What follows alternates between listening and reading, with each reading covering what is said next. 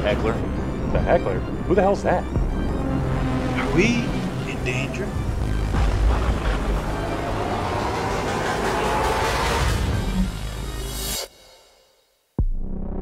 Isn't it an excellent day for a comedy show?